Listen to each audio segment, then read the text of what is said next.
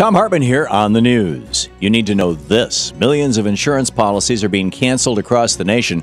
And while companies are blaming Obamacare, it appears that plain old greed is the real reason. Consumers in California say that their insurance company caused their cancellations to jack up their premiums under the ACA. Paul Simon and Catherine Corker are suing Anthem Blue Cross in their state, claiming that the company tricked them into giving up their grandfathered plans, which they could have kept even after the health care law. Their lawsuit states, quote, Blue Cross concealed information about the consequences of switching plans and intentionally misled its policyholders to encourage the replacement of grandfathered policies, end quote. Just like President Obama said, if these customers liked their health care plans, they could have kept them under the health care law. But Blue Cross enticed customers to change policies in 2011, which meant their plans were no longer grandfathered into the health care law. When they were invited to switch plans, Customers were not told that they would lose their right to keep their plans and were not given accurate information about future price increases.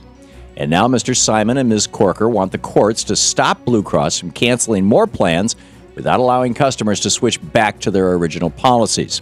This happened in California. We can only wonder how many more cancellations are the result of the same deceptive, deceptive tactics nationwide.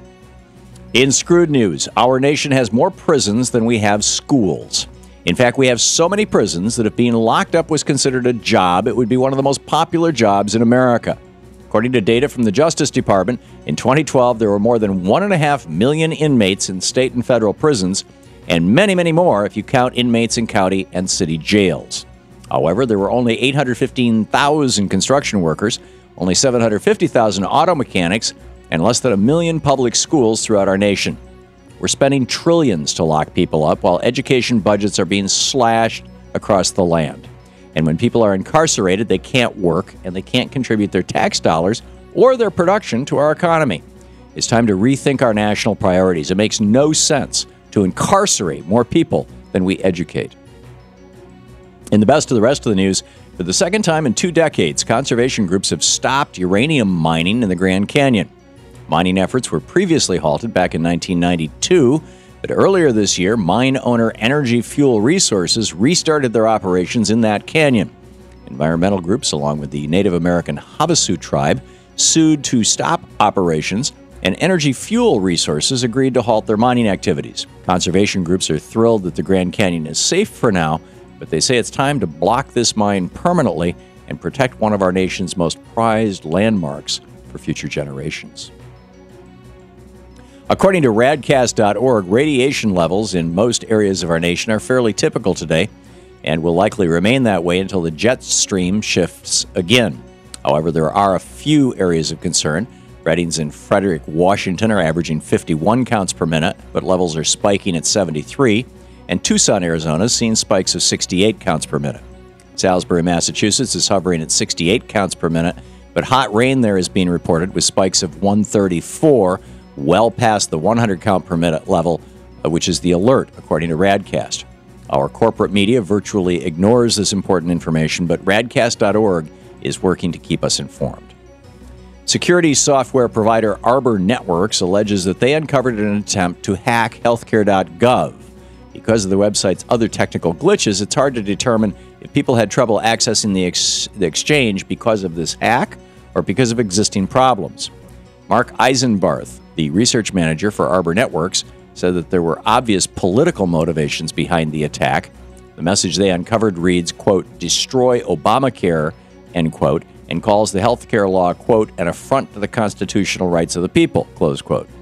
The experts say that a simple hacking program like the one they found is unlikely to take down the entire website, but of course, Republicans are using it as an excuse to try and delay access to the exchange. Meanwhile, Representative Mike Rogers, chairman of the House Intelligence Committee, said that healthcare.gov should be taken down until a more detailed security review can be completed.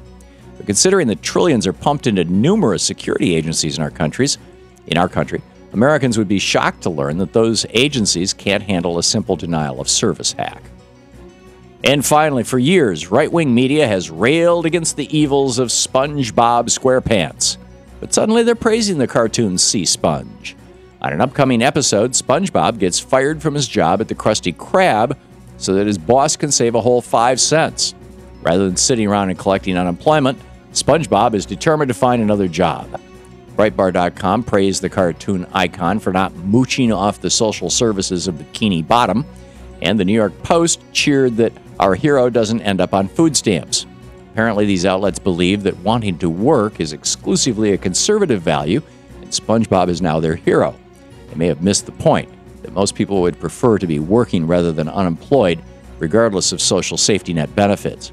But it's great to see the right finally embracing a pro gay, pro worker, pro environment mascot, even if he happens to be a sea sponge.